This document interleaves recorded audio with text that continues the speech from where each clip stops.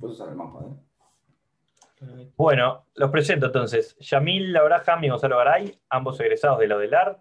Eh, tanto Yamil como Abraham realizaron su maestría en física, eh, la UDELAR también, egresaron en 2017 y 2018 respectivamente, en el grupo de acústica ultrasonora y actualmente están cursando su doctorado dentro del mismo grupo. En el caso de Yamil, creo que es en cotutela con, con el Instituto Langevin, o como se pronuncia, en París. Y bueno, hoy nos van a hablar de ondas acústicas en medios de múltiple scattering. Los dejo con ellos. Bueno, este, la idea del seminario es mostrar algunas experiencias y algunos temas de investigación que hemos venido estudiando en el Laboratorio de Acústica Ultrasonora. Este, la, la, pregunta que nosotros nos hacemos es qué le pasa a una onda acústica cuando atraviesa, atraviesa un medio de múltiple scattering. Un medio de múltiple scattering es un medio no homogéneo que vamos a detallar en, en el correo de la presentación. Lo vamos a describir en el correo de la presentación. Para esto, este, vamos a mostrar eh, un, un par de experiencias que, abarcan la, transmisión de ondas acústicas. Y vamos a mostrar algunos elementos que nos sirven para analizar y, obtener algunas aplicaciones de, este tipo de ondas. Por ejemplo, el retorno temporal o el campo coherente. Este, nosotros nos, hacemos la pregunta, además de, estudiar la transmisión, simplemente qué pasa con la onda cuando tiene alta amplitud. Una onda acústica de alta amplitud tiene un comportamiento no lineal y bueno, tiene algunas propiedades interesantes que también buscamos, este, buscamos entender, buscamos ver cómo interactúan estos fenómenos con, el, con los medios múltiples scatter. Esto lo vamos a ver en los dos primeros puntos, desde luego de la introducción. Luego vamos a mostrar una experiencia que nos permite obtener ondas focalizadas por inversión temporal de alta amplitud. Aprovechamos el múltiple scattering para lograr esto. Y finalmente vamos a mostrar las propiedades de múltiple scattering en un medio un poco distinto, que es un medio granular, que, a diferencia de lo que vamos a mostrar en la primera parte, eh, vamos a empezar trabajando con un, medio en dos dimensiones que, construimos nosotros. Podemos controlar algunas propiedades como la densidad, y luego nos vamos a pasar a el medio un poco distinto, que es un medio granular. Este, la, importancia de esto es que este, la, onda acústica, como, onda mecánica que es, es dependiente del medio en que se propaga. Entonces, todas las aplicaciones que, tienen las ondas acústicas, en particular el ultrasonido, que es lo que, en lo que trabajamos nosotros, este, tanto aplicaciones médicas como aplicaciones de otro tipo de materiales, requieren conocer el medio en el que la onda se propaga. Si el medio tiene inhomogeneidades, impurezas, van a existir fenómenos de scattering que son los que nosotros buscamos comprender. Y más allá de la acústica, las, las ondas, eh, no, solo en la acústica aparecen, aparecen en otras áreas. Y, bueno, hay propiedades y elementos que, que se comparten en distintas áreas, como por ejemplo en las ondas electromagnéticas, en la óptica. Este, y hay fenómenos de scattering que podemos conocer este, con las ondas acústicas y luego hacer la analogía con otro tipo de ondas. Este, lo que tienen las ondas acústicas es que los sensores acústicos, los sensores convencionales con los que trabajamos en el laboratorio, nos dan información de amplitud y fase de la onda.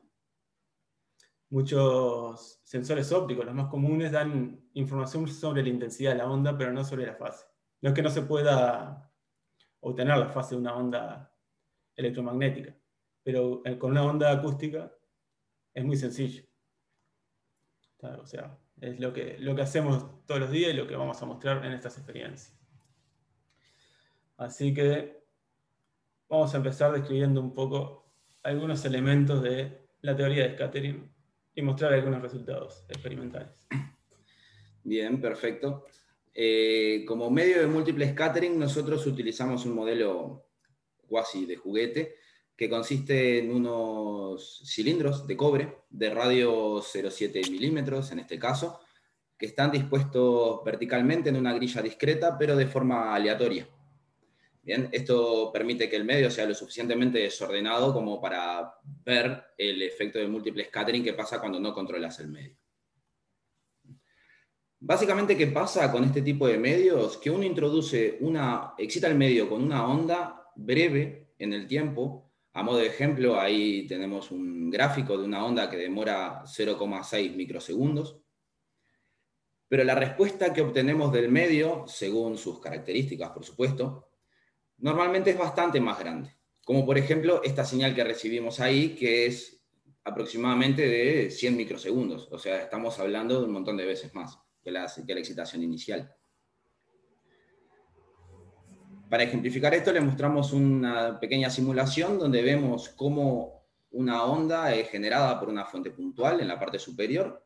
La onda se propaga en un medio homogéneo, como puede ser agua, y se encuentra con un medio de múltiple scattering y ahí vemos varias componentes de la onda. Por ejemplo, el rebote total al chocarse con el medio de múltiple scattering, la transmisión total, que vemos que hay una onda transmitida que llega casi directo, pero después vemos todo, todas las demás componentes que vienen del múltiple scattering, y ahí viene la extensión en temporal en la señal que medimos. Bien. De este tipo de señales, son bastante características, nosotros podemos distinguir, la podemos dividir en dos, digámosle, para analizarlo. Por un lado tenemos lo que se llama el pulso balístico, que es básicamente la señal acústica que recibimos que no siente los efectos del, múltiple scattering, es decir, ve al medio como un medio homogéneo, con sus diferencias con el medio que está de fondo, por supuesto, pero mantiene eh, las características del pulso inicial que excitó al sistema. Y segundo, tenemos lo que llamamos la onda de coda, que es, eh, que es una onda que ha recorrido varios caminos entre difusores dentro del medio de múltiple scattering y nos van, nos van llegando a distintos tiempos de arriba. Ahora, teniendo en cuenta cómo es el comportamiento de la onda, podemos hacer una pregunta un tanto interesante y un tanto básica también, de cuando un medio múltiple scattering es muy, muy grande, digamos, cómo medir el scattering en ese sentido. Para esto se define lo que es una distancia característica que se llama el recorrido libre medio elástico, el L sub E. Este recorrido libre medio está relacionado con el coeficiente de transmisión coherente. ¿Qué es el coeficiente de transmisión coherente? básicamente es la intensidad transmitida coherente, es decir, la intensidad que hay en la onda balística que mostré recién. Y lo que nos dice es que hay un decremento exponencial en ese coeficiente de transmisión que depende de la, del ancho de nuestro medio de múltiple scattering. Asimismo, eh, según explica la teoría, esa distancia característica está relacionada con parámetros del medio. ¿Cuáles son estos parámetros? Ahí vemos arriba a la derecha que depende de una cantidad n, que es eh, la densidad de difusores en el medio, y eh, suponiendo que todos los difusores son idénticos, tenemos la cantidad sigma sub t, que es la sección eficaz total. ¿Qué es lo que hacemos para calcular cuál es la transmisión coherente? Básicamente, la transmisión coherente se caracteriza por sobrevivir a pesar del desorden. Es decir, que si nosotros promediamos eh, para distintas configuraciones de desorden de nuestro medio de múltiple scattering, lo que vemos que sobrevive es lo que llamamos onda coherente. Ahí a modo de ejemplo se presentan 13 eh, señales coherentes para distintos medios. El primero, en azul, es L igual 0, es decir, no tenemos un medio de múltiple scattering, tenemos la onda propagándose en un medio homogéneo. El segundo es para un, ancho de aproximadamente 35 milímetros y ya vemos que el decremento en la intensidad es bastante, perdón, en la amplitud de la señal es bastante grande, a pesar de que mantiene la fase. Y finalmente para un ancho del medio de 80 milímetros, donde vemos bueno, que la amplitud pareciera ser nula en comparación a las otras amplitudes. Eh, calculando el coeficiente de transmisión coherente, podemos inferir cuánto vale esta distancia característica que en, esta experiencia, a modo de ejemplo, vemos que más o menos coincide con lo esperado. Dado que nosotros manipulamos el medio, conocemos la densidad, y como nosotros elegimos los difusores, sabemos cómo es la sección eficaz total de los mismos. Entonces podemos calcular, una vez que fijamos la frecuencia de trabajo, cuánto va a valer aproximadamente esa distancia característica. Podría llegar a pasar que si nosotros desconociéramos el medio, es decir, la distribución de eh, difusores, pero por algún motivo tuviéramos información de qué geometría tienen o de qué material están formados, nosotros podríamos eh, experimentalmente calcular la distancia característica y saber a través de modelos cuál es la sección eficaz. Entonces podríamos inferir la densidad. Entonces este método resulta bastante útil cuando desconocemos el medio de múltiple scattering. Bien, Ahora no tenemos que meter de lleno con lo que es la inversión temporal, dado que nosotros queremos focalizar energía a través de este tipo de medios. La inversión temporal nace simplemente de la simetría en la derivada segunda del tiempo que aparece en la ecuación de ondas. Es decir, que si nosotros logramos encontrar una solución para la ecuación de ondas, que es phi de r y de t, también tenemos una solución que es phi de r y menos t. ¿Cómo entender esta solución? Bueno, supongamos que phi de R y T es como se muestra ahí en la figura, es una onda divergente respecto a un punto fuente que la genera. Eh, en el medio pueden aparecer inhomogeneidades, asumiendo que, no tiene, que es un medio sin absorción, por supuesto. Dado este diagrama, la forma de entender la función phi de menos t es, en lugar de una onda divergente, una onda convergente. Es decir, es como mirar la onda phi, pero en rewind, digamos, de futuro a pasado en vez de pasado a futuro. ¿Ah? Ahora bien, cuando tenemos un medio múltiple scattering, nosotros vemos una propagación inicial, que esto representaría phi de t, como una excitación inicial eh, eh, excita el medio de múltiple scattering y tenemos ondas transmitidas, ondas reflejadas, similar a lo que mostramos anteriormente. Sin embargo, cuando realizamos la inversión temporal, lo que vemos es que el video literalmente se reproduce en, eh, en la dirección opuesta, digamos, de futuro a pasado. Ahí vemos cómo la onda empieza a converger luego de todo el desorden, converge en el punto y después continúa su propagación. Esto, para justificar un poco por qué pasa esto, nos podemos meter en lo que es la teoría de sistemas lineales para nuestros sistemas de múltiples scattering. Lo que asumimos es que excitamos el sistema, el sistema nos responde con una función HDT, que también puede depender del espacio, en este caso lo voy a sacar para simplificar, y nosotros obtenemos una respuesta.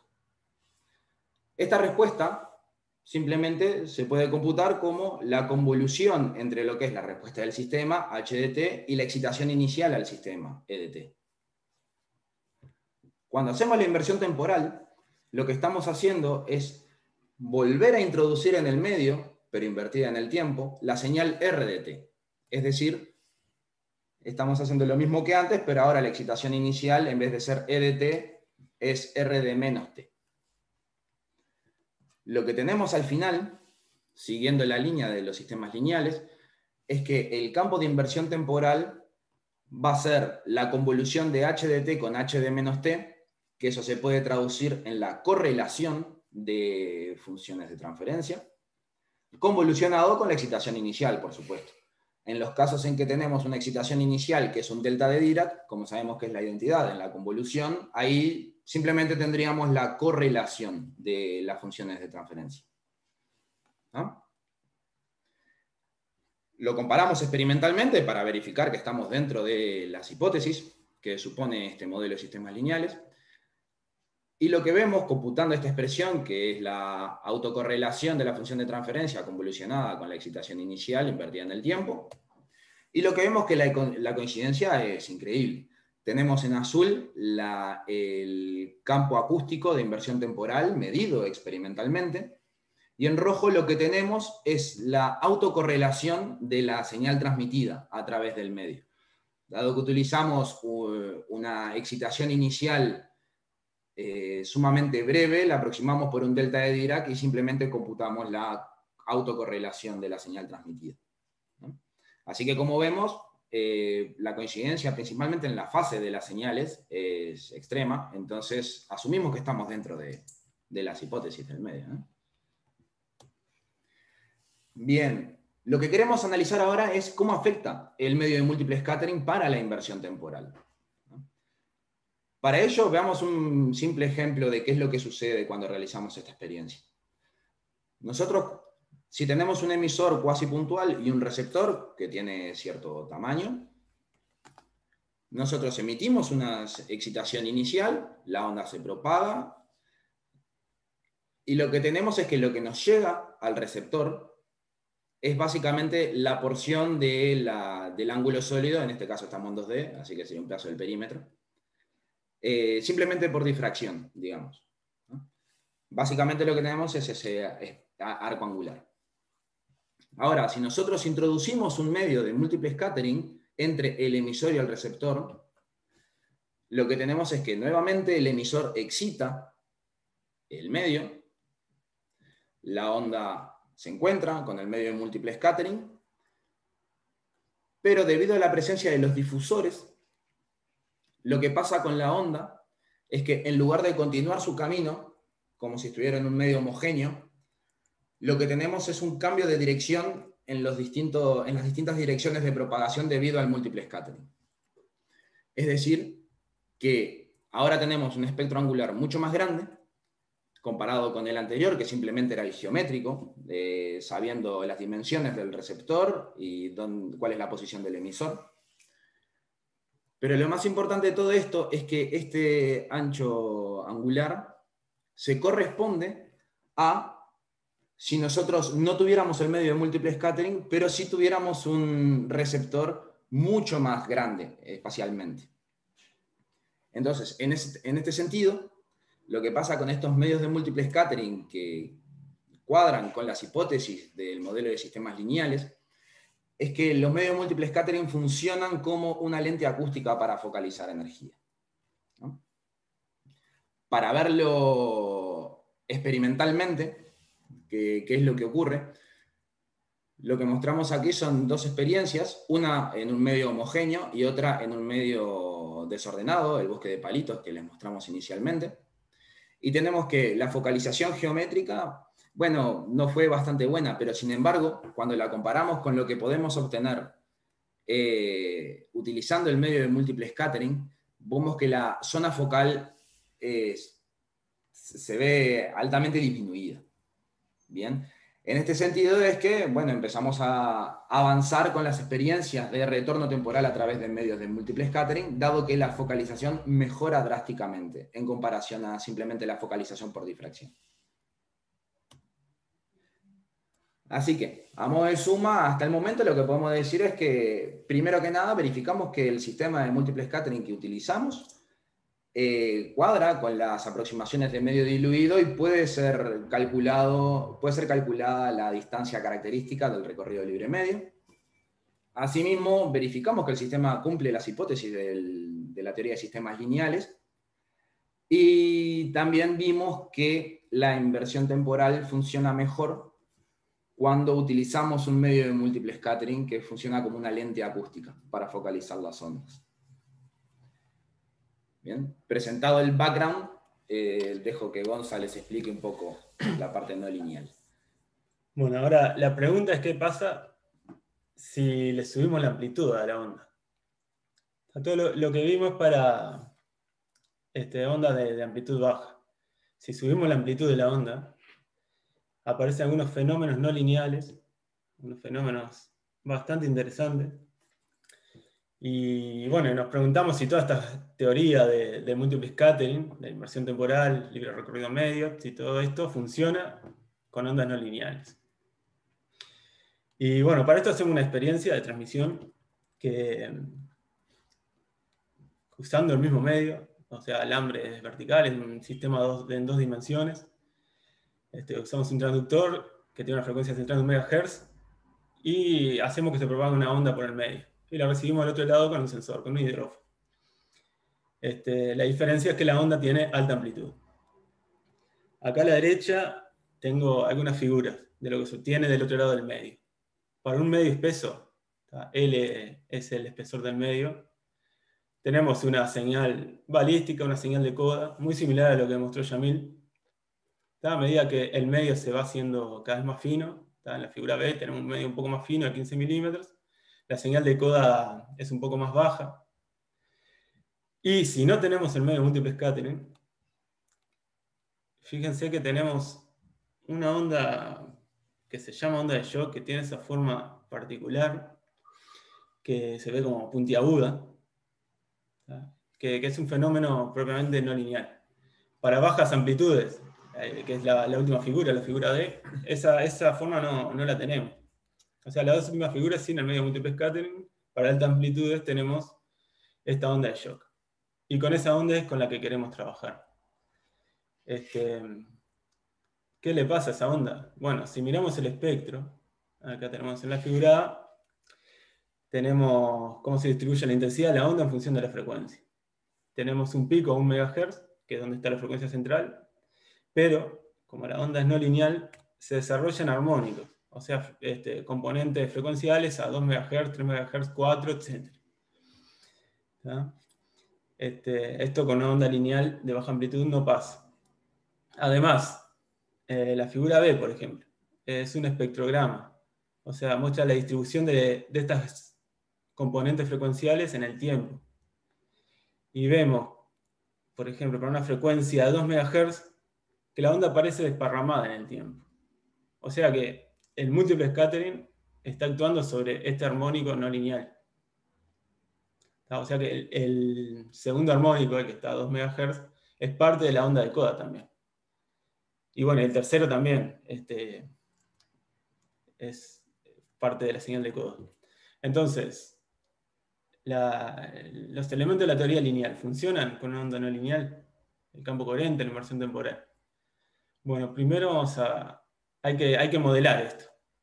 Para eso tenemos una ecuación que se llama Westerberg-Laihill, que mm, tiene tres términos. Eh, el primero es la ecuación de, de ondas, la conocida por todos. El segundo término de la izquierda es un término que tiene un gradiente en la densidad, que, bueno, si, el medio no es homogéneo, la densidad no, es constante en el espacio, no es uniforme. Entonces ese gradiente toma en cuenta las variaciones en, la densidad. Y del lado derecho de la ecuación tenemos un término que tiene P al cuadrado. P es la presión, la presión acústica si la presión acústica está al cuadrado, la ecuación es no lineal. Este, aparece un parámetro beta ahí que, es el que caracteriza la no linealidad del medio. Y bueno, y la cosa es que el scattering tiene un orden de magnitud que se caracteriza por un parámetro eta, que no tiene nombre particular, pero que, depende de la, velocidad de propagación. La velocidad de propagación también cambia con las inhomogeneidades del, del medio. Y la, amplitud de la onda, el orden de magnitud, está caracterizado por el número de Mach, un número un poco más conocido, que es un cociente entre la velocidad particular de la onda y la velocidad de propagación. Y está relacionado con la presión. Si la presión es muy alta, el, el número Mach es muy alto y la onda no lineal. En este caso lo que sucede es que el segundo término, en que tiene gradiente en la densidad, este, el orden de magnitud está dado por el producto del parámetro que cuantifica la no linealidad y el número de Mach. Y la no linealidad, lo que está a la derecha, está, tiene un orden de magnitud que es este, el, el, número de Mach al cuadrado. Resulta que el término no lineal le gana en orden de magnitud eh, perdón, el término que tiene el, scattering le gana en orden de magnitud a la no linealidad. Entonces, cuando la onda se propaga en el medio múltiple scattering, ya la no linealidad deja de jugar. Y me dirán, entonces la onda no es, lineal. Bueno, pero la, cosa es así. Acá en este esquema voy a mostrar tres regiones de la propagación de la onda, desde que sale del transductor hasta que llega al hidrófono. Primero la onda se propaga en agua, un medio homogéneo. En este caso, la ecuación que, que describe la propagación es la ecuación de Westerveld, que es no lineal, no tiene scattering. Entonces, en ese trayecto que los armónicos se generan y la onda muestra las propiedades no lineales. Cuando la onda incide en el medio múltiple scattering, la onda ya es no lineal. Pero como el múltiple scattering es muy alto, las no linealidades dejan de generarse, por, decirlo de alguna forma. Este, lo, que decimos nosotros es que no linealidad y múltiple scattering se desacoplan. Es decir, cada armónico generado este, antes de que la onda incida en el medio se propaga cada uno por su cuenta. Seguimos teniendo armónicos, pero no hay generación de nuevos armónicos. Y bueno, finalmente en la región 3 la onda ya sale con baja amplitud y ahí la podemos considerar lineal.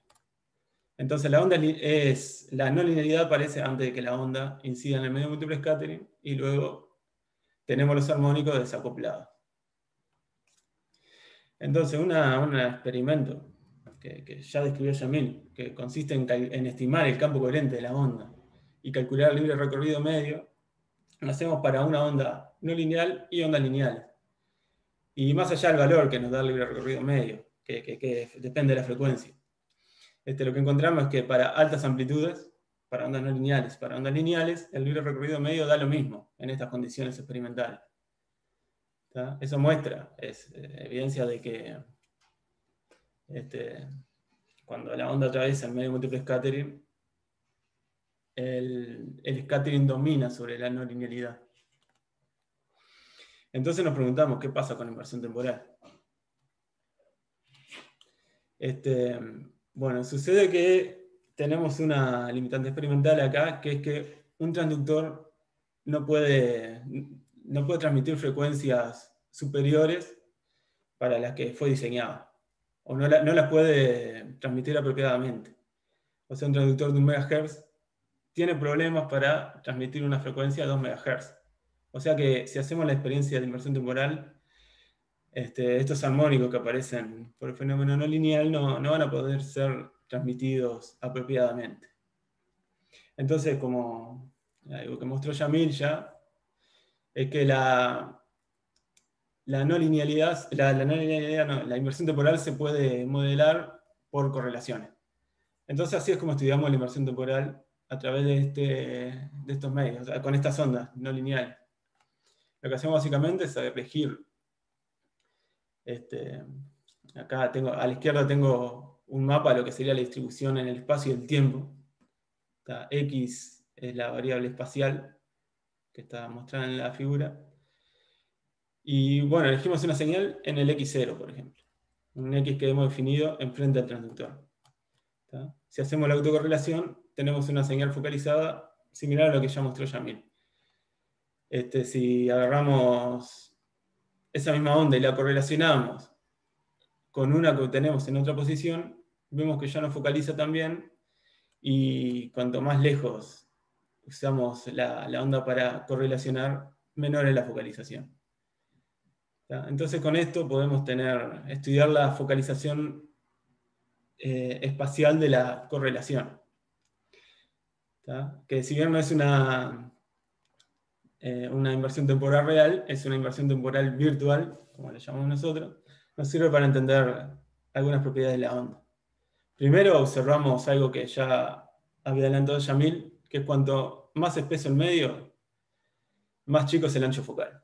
Acá en la figura de arriba tenemos la focalización, una imagen que muestra el tiempo y la posición por un medio espeso. La última figura es por un medio más fino, entonces vemos que la, mancha roja, que representa la focalización, es más grande.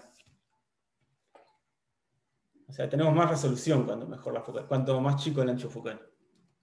Acá mostramos en un gráfico el corte en la posición, solo para verificar de una forma un poco más cualitativa lo que, lo que estoy describiendo. Cuanto más espeso el medio, mejora la focalización, es decir, el ancho focal es más chico.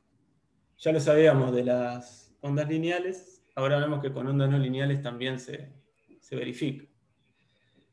Además, como la onda no lineal tiene armónico, uno espera que esta propiedad se, se, verifique también con los armónicos.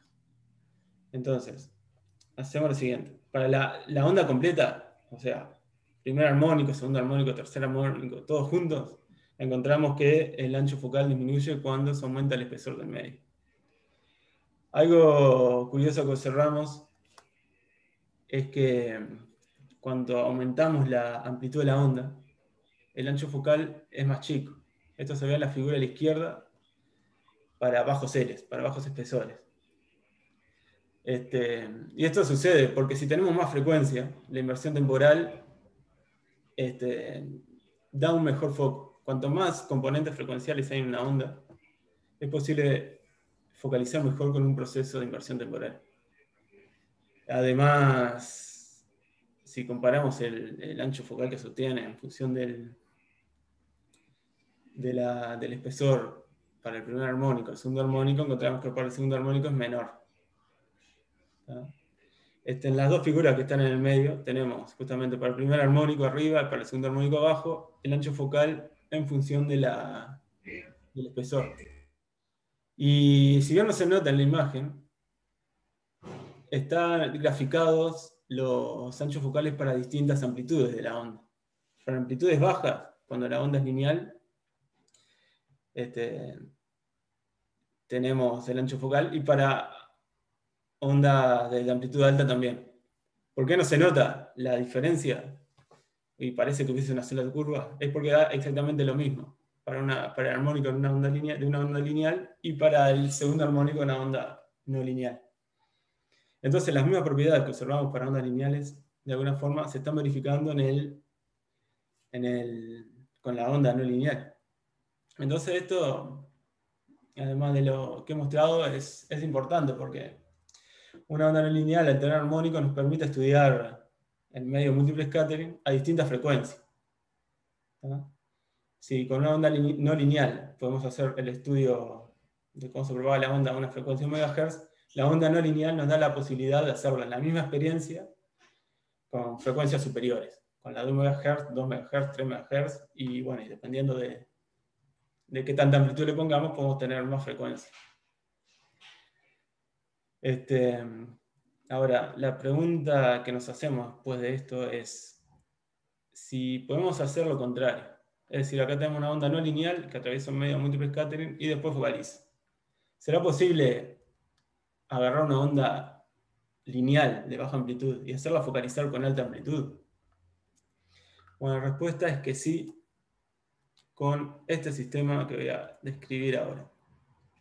Lo que usamos nosotros para lograr esto es, en vez de emitir con un emisor común, con un transductor, usamos algunas cerámicas piezoeléctricas que, funcionan como transductores y las acoplamos a una guía de onda. La guía de ondas es un cilindro de aluminio macizo, como se muestra en el esquema, que tiene en un extremo cerámicas piezoeléctricas acopladas. El otro extremo está en agua. Después la onda, la, onda se emite en cada cerámica, atraviesa la guía de onda, luego atraviesa el medio múltiple scattering y luego va al sensor, al hidrófono. Este, lo que tiene este sistema es que ya, vimos cómo una onda se desparrama en un medio múltiple scattering. Eh, la guía de onda es dispersiva. Esto quiere decir que cada componente frecuencial se propaga con, con distinta velocidad. Entonces, un pulso corto, cuando sale la guía, va a tener una duración mayor. Parecido a lo que pasa con el múltiple scattering, pero por, otra, por otro fenómeno que se llama dispersión. Lo que tiene eso es que se puede aprovechar la inversión temporal para ponerle más energía a la onda. Entonces, cuando la onda focaliza, esa señal larga se recomprime, y si tenía mucha energía y se recomprime en un tiempo corto, va a focalizar con alta amplitud. Entonces, bueno, acá tenía una imagen de. es, una imagen de frecuencia y, número de onda K, que se puede medir adentro de la guía de onda. que muestra varias curvas. Este, eso es una medida experimental, pero muestra varias curvas porque cada curva corresponde a un modo normal y cada modo tiene una relación distinta entre frecuencia y número onda K. Eso solo pasa si hay un fenómeno de dispersión. Pero bueno, no me quiero poner demasiado técnico y voy a describir un poco la experiencia de inversión temporal, que es similar a lo que describió Yamil al principio, es agarrar una onda corta. El paso 1 agarramos una onda tres ciclos, la metemos en una de las cerámicas piezoeléctricas, la recibimos en el hidrógeno. ¿Por qué recibimos en el paso 2, a la derecha? Recibimos tres señales, bueno, porque en realidad acoplamos siete cerámicas. Acá solo muestro tres, pero tenemos siete emisores de onda de ultrasonido que trabajan 1,7 MHz. Y bueno, vamos a tener siete señales de esto. Este, ¿Qué hacemos con esas ondas? Bueno, inversión temporal. Las ponemos atrás para adelante digitalmente Usamos un paso más de, la inversión temporal que se llama el proceso un bit, que corresponde en agarrar el signo de, la de, esta sonda. O sea, lo que es positivo lo ponemos en 1, lo que es negativo en menos 1. Lo multiplicamos por un voltaje, un voltaje aplicado que le damos a la onda y lo mandamos de vuelta. O sea, con los mismos transductores. Usamos que el medio es recíproco. Y bueno, si con una con un solo emisor obtenemos una cierta focalización en el, en el punto focal, si mandamos con 7 vamos a obtener 7 veces más la, amplitud. Y bueno, y así es como logramos una onda de, alta amplitud con este sistema. Este, si le ponemos el medio múltiple scattering, tenemos la suma de la dispersión, que nos permite tener altas amplitudes, más el múltiple scattering que tiene otras propiedades interesante que ya vimos. Entonces, como ejemplo, acá tengo espectros de los espectros que tenemos para un voltaje bajo de 17 volts y un voltaje alto de 80 volts. Esa es la, está relacionado con la presión de la onda, con la amplitud de presión. Y vemos que, que tenemos una frecuencia central. Acá está normalizada la frecuencia, pero tenemos un pico alto en la frecuencia central, pero tenemos también los armónicos. Eso quiere decir que hay una onda no lineal que se está generando en el foco. El foco es donde focalizamos por inversión temporal. Este, la pregunta que nos hacemos para este estudio es si la alta amplitud efectivamente se obtiene en el foco.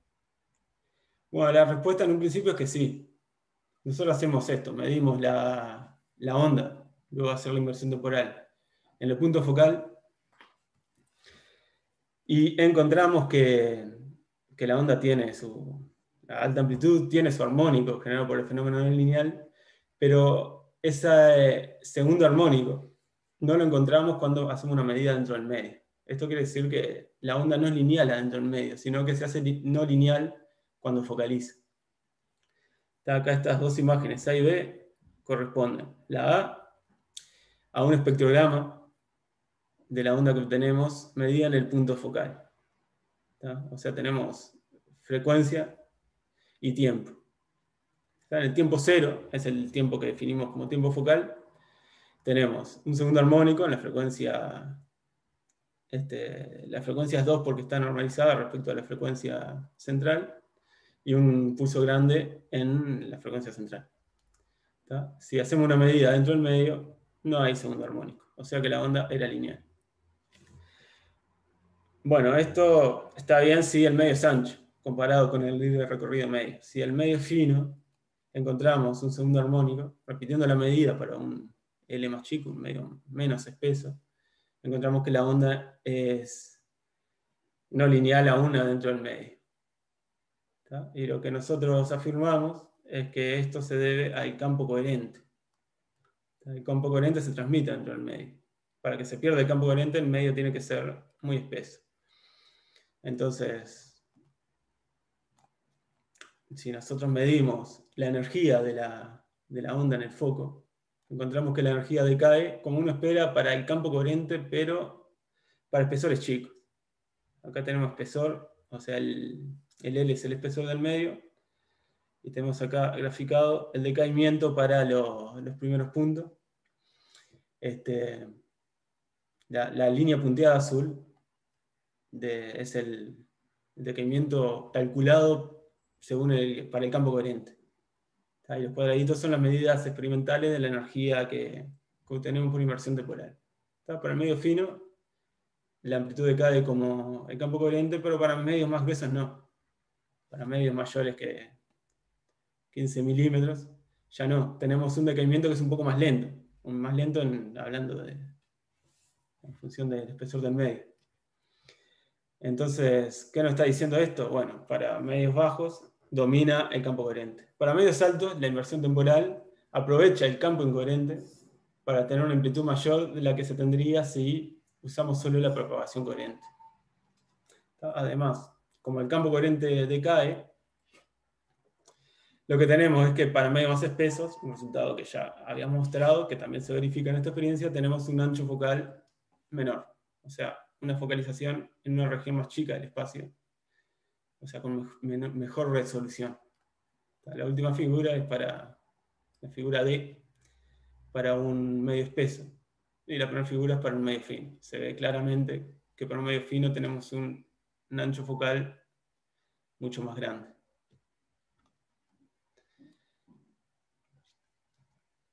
Entonces, lo importante de esto es que con una onda lineal podemos generar ondas no lineales. O sea, con ondas de baja potencia, equipos de baja potencia, podemos llegar a un régimen no lineal. Además lo tenemos a través de un medio múltiple escape. Y, y bueno, como consecuencia, por tener un medio ancho, tenemos una mejor resolución, o sea, un mejor ancho focal. Ahora, todo esto se puede pasar, se puede aplicar en otro tipo de medio, porque hasta acá era un sistema de dos dimensiones con alambres verticales, aleatorios. ¿Qué pasa con otros tipos de medios?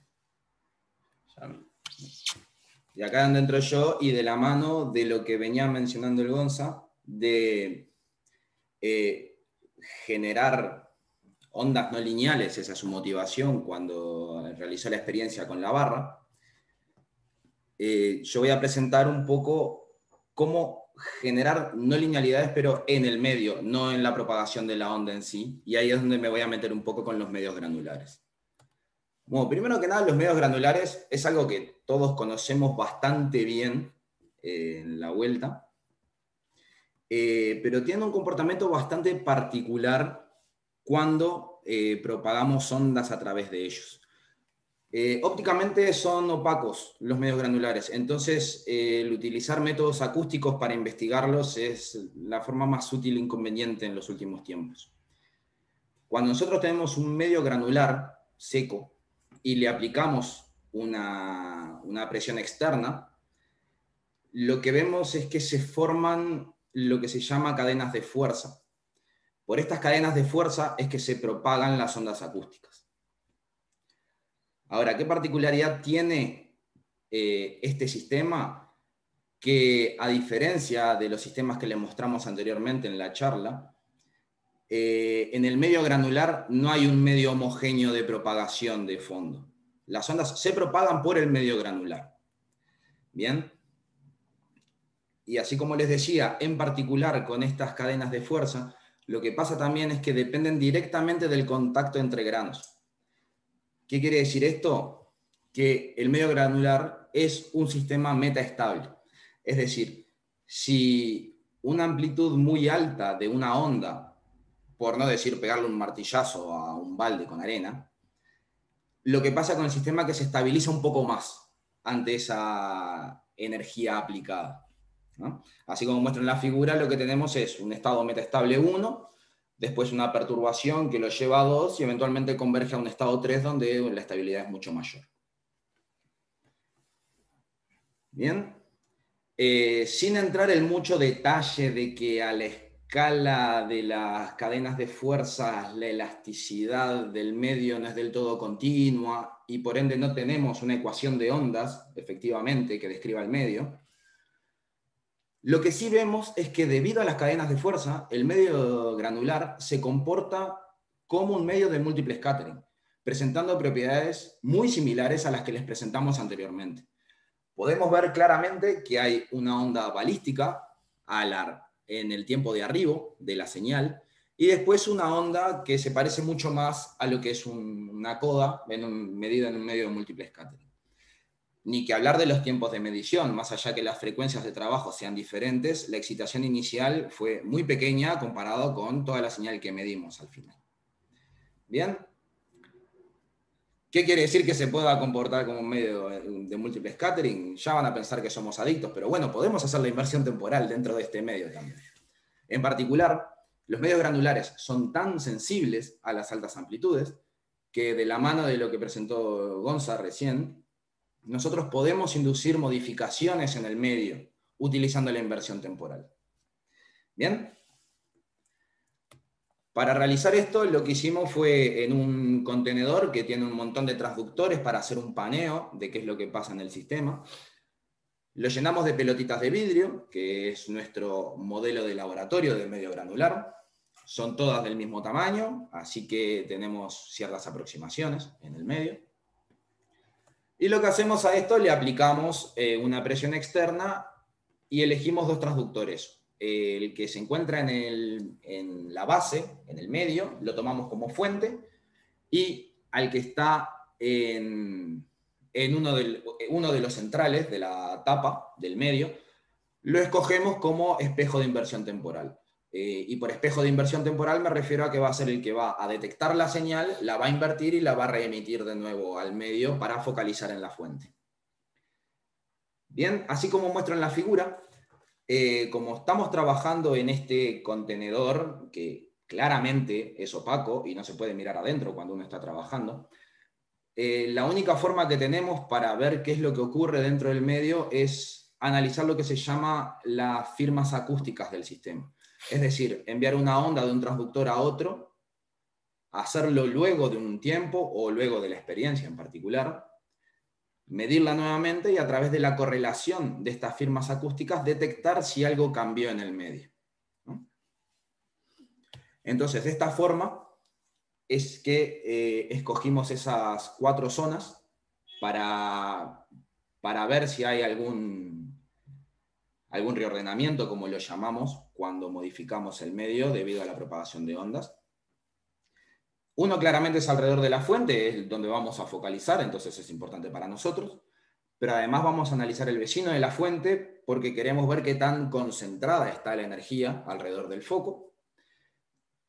Y asimismo, como estamos utilizando solamente un transductor, y bueno, es probable eh, que también tengamos cambios en la zona donde se encuentra ese transductor alrededor de la tapa. Por eso estamos midiendo eh, firmas acústicas alrededor de este transductor y alrededor del vecino más cercano que escogimos esos transductores. Bien.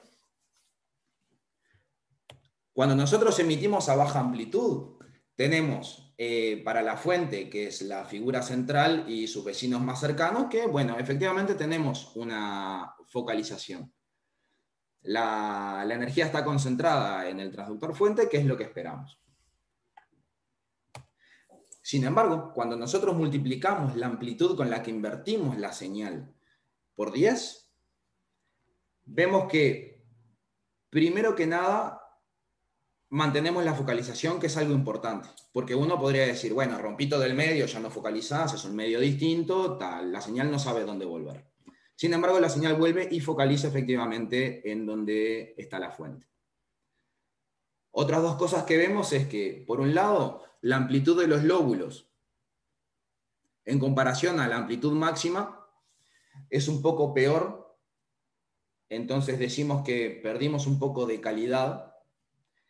Y también podemos ver una tendencia no lineal que va en contra de las hipótesis del modelo de sistemas lineales que presenté al principio, dado que normalizadas las amplitudes según el caso de baja amplitud, nosotros amplificamos 10 veces, pero la amplitud máxima que tenemos es solamente 6 veces más grande.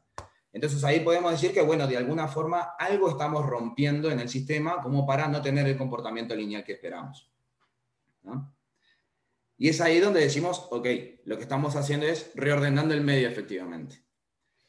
Eh, menciono de paso que cuando digo reordenar, no es que eh, una pelotita estaba en un punto y se cambia drásticamente a otro. Simplemente lo que decimos es que cambian levemente los contactos entre ellas, entonces se alteran levemente las cadenas de fuerza por las que se propagan las ondas. Pero es suficiente para romper con la inversión temporal.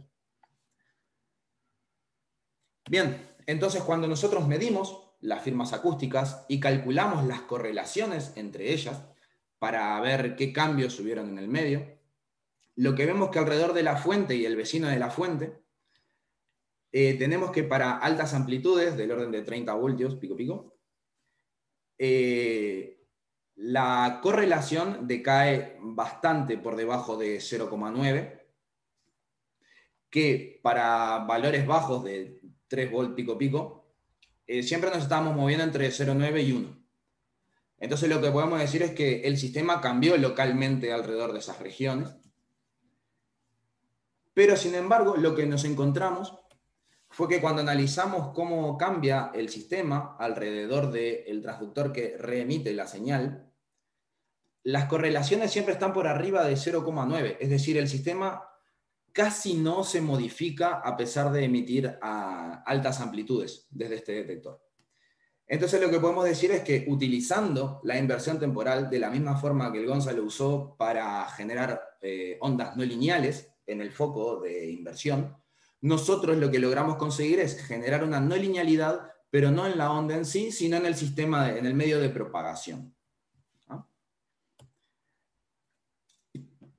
Bien, entonces a modo de conclusión de este escaneo rápido del trabajo, es que el medio granular funciona como un medio de múltiple scattering, a pesar de que no tengamos una ecuación de onda y un modelo teórico que nos describa analíticamente.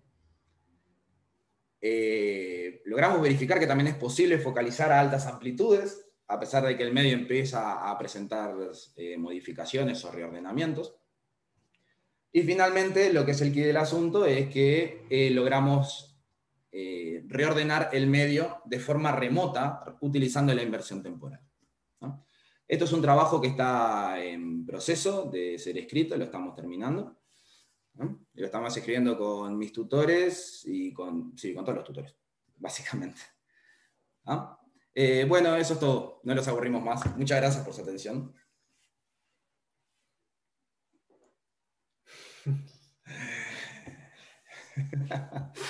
No sé silencio, no sé silencio. Podríamos haber puesto un videito que estaba aplaudiendo. Ah, pensé que me había desmuteado. Estaba aplaudiendo yo. Este. Bueno, muchas gracias. ¿Preguntas? Levanten la eh, mano o hablen nomás. Preguntas, comentarios. Si tienen. Pagan escribiendo nada de esto. ¿Qué quieres ver? Este, bueno, yo tengo una pregunta, ya que nadie pregunta. Eh, hablan en, cuando hacen la grilla con los con los tubos que dicen aleatorio. ¿Cómo definen ustedes aleatorio? Porque hacer aleatorio uno, ¿cómo qué, qué, es aleatorio? Eh, te lo explico donde se canta o hay un criterio? Nosotros lo que elegimos es el ancho, en realidad, porque no queremos, queremos evitar los bordes. ¿no? Que es lo que se ve acá, digamos, esta distancia es lo que definimos como ancho. Ajá. Eso lo definimos lo más grande posible para evitar ver el efecto del borde que el sistema termina, digamos. Y una vez que vos definís qué tan profundo va a ser, y lo que hacemos es una matriz aleatoria en MATLAB de ceros y unos y ponemos Lo que sí, hay un montón de trabajos previos, ¿no? Porque cuando recién nos topamos con este sistema habían que definir algunos criterios. Eh, analizamos eh, cómo cambia el sistema según la cantidad de agujeros la densidad de, Exacto. Y básicamente. ustedes están definiendo la, digamos, el, medio múltiple scattering, digamos, la, cantidad o el efecto de eso, con, variando la profundidad, pero nunca cambian la densidad de, varillas. Elegimos la densidad. La densidad está elegida de antemano, fue un trabajo previo. El estudiar cambiando la densidad, qué tan eh, multidifusor llegaba a ser el O sea, la densidad está relacionada con la probabilidad de que un alambre ocupe el punto de la grilla o no. Sí, sí. Ok. Así, es este, como, controlamos la aleatoriedad. y ustedes cuando, hicieron la parte no lineal, em, ¿hicieron simulaciones de eso también? No me, no me di cuenta si había comparación de simulaciones o no. Eh, no, no, porque, porque ustedes eh, dicen, bueno, dentro del medio, del medio, en el medio múltiple scattering, básicamente este efecto es mucho mayor que la no linealidad, entonces la ecuación que lo rige es una ecuación, eh, digamos, sin el término. no me acuerdo ni dónde era. La Ahí, eso, eso mismo. Mm. Pero eso también les va, calculo que va a cambiar con qué tan ancho es el, es el medio, porque cuando el, el medio es chiquito, en realidad la, parte del medio mismo no se va a comportar como, no va a eliminar lo no lineal, digamos, por así decirlo. si, el medio es muy, este, muy fino, uno supone que, que, bueno, que entonces la onda va a seguir siendo no lineal. Pero este, con este modelo no este, depende nomás de, de la densidad, el orden de magnitud de la, del scattering. Claro, pero si, hacen, si hacen muy, muy fino el, el, scattering ahí, no sé si, a ver si. Este, experimentalmente no hemos detectado que, haya. que no hemos llegado a contradecir estos, estas cosas que estamos acá diciendo. Y no, no, no. De la simulación es que, bueno, nosotros vamos a hacer el medio tan fino como queramos pero... E igual en la parte del mi pregunta era si efectivamente la, parte del medio se rige por esta ecuación si el medio es muy fino, por ejemplo. O sea, tirando el término de la derecha. Más bien, si es una cosa así. Por eso preguntaba si habían hecho simulaciones como para comparar el... Este, pero Entonces, en realidad les iba a preguntar más bien si había un largo, un ancho específico para el cual eh, esa aproximación que están haciendo en, la, bueno, la discusión es, es efectivamente así, o sea que el, esa conclusión de que el medio está regido por la parte izquierda de la ecuación igual a cero es válido cuando el medio va, intuitivamente estoy hablando, ¿no? Capaz que es un pelotazo que estoy diciendo, pero es suficientemente ancho. el problema es que si, el medio es muy fino eh, y llega al límite del diámetro del, del scatter, o sea, del difusor, ya no, no, no es múltiple scattering ahí. Nosotros hemos tratado de estudiar esto en el, este, para un medio suficientemente espeso como para tener algunas filas de, de scatter.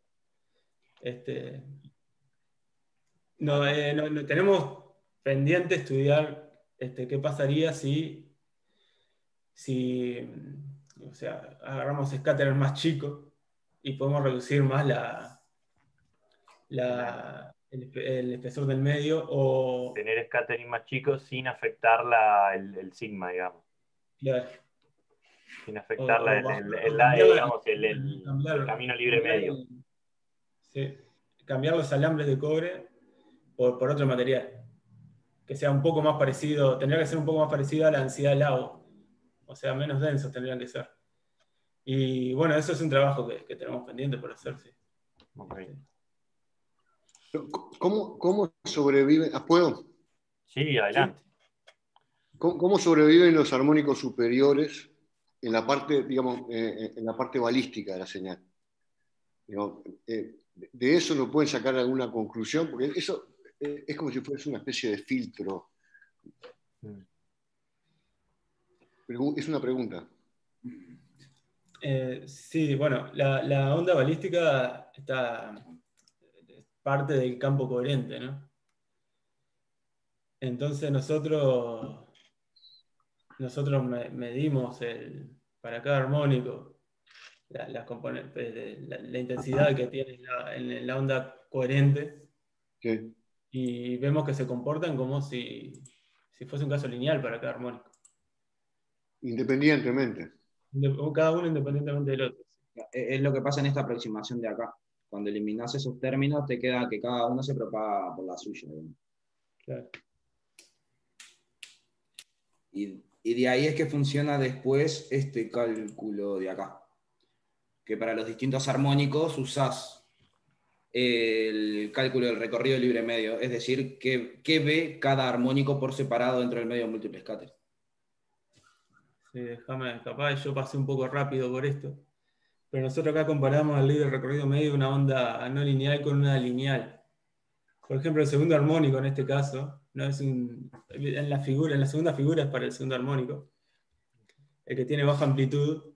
Ah, ta, ta, ta, Sí, 2 MHz. O sea que decae igual que en el caso no lineal. Este. Gonzalo. Sí.